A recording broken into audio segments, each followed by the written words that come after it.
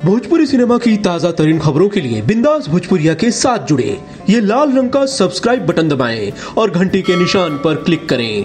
बिंदास भोजपुरिया को सब्सक्राइब करना बिल्कुल फ्री है। मतलब सारी खबरें मुफ़्त में पाएँ। आम्रपाली जी कभी लगा कि लव के लिए कुछ भी करेंगे आम्रपाली?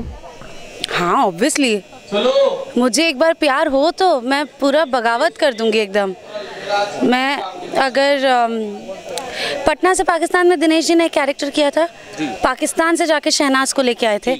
तो मुझे अगर प्यार हो गया तो दुनिया के जिस कोने में होगा वहाँ से उठा के लेकर आ जाऊँगी। ये बात है। लेकिन प्यार के लिए कोई क्राइटेरिया है कि मतलब ऐसा होना चाहिए वैसा होना चाहिए? हाँ मैंने पहले भी आप ही के इंटरव्यू में बताया था फिर बता रही हूँ। लॉयल होना चाहिए ईमानदार होना चाहिए। कम कमाएगा तो भी चलेगा कमा तो मैं रही हूँ भगवान की दया से अच्छा खासा। बस इंसान अच्छा हो बाकी क्या चाहिए? आम्रपाली जी, आजकल आइटम सॉन्ग्स की तरफ़ ज़्यादा मूव कर रही हैं। पहले पवन सिंह के साथ, फिर खेसारी भाई के साथ, फिर चिंटू के साथ, और अब राजू सिंह भाई के साथ। एक्चुअली आइटम सॉन्ग नहीं स्पेशल अपियरेंस स्पेशल अपियरेंस है फ़िल्मों में। और अपने अ- अपने दोस्तों के साथ अपने पहचान वालों के साथ uh, हम लोग अगर हम किसी फ़िल्म में जाके एक गाना करें और उस गाने से उस फ़िल्म को फ़ायदा मिले तो हमारी भोजपुरी इंडस्ट्री के लिए बहुत अच्छी बात है। छोटी जो छोटी छोटी फ़िल्में होती है वो भी बड़ा बिज़नेस करेंगी।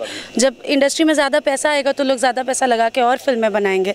सो आइटम सॉन्ग की तरफ़ तो नहीं बट अपने अपने फ्रेंड्स अपने फ्रेंड्स के लिए और अपने जान पहचान वालों के लिए स्पेशल अपियरेंस करती हूँ और हमेशा करूँगी। राजू भैया कब तक फ़िल्म आएगी? देखिए जुलाई तक शायद रिलीज़ करेंगे डायरेक्टर साहब और बाकी इसकी सारी शूटिंग हो चुकी है और आज का ये लास्ट है। थैंक यू मास्टर जी बहुत बहुत शुक्रिया। थैंक यू आपने वक्त दिया। थैंक यू मुंबई से आनंद कमलेश की report thank you thank you thank you thank you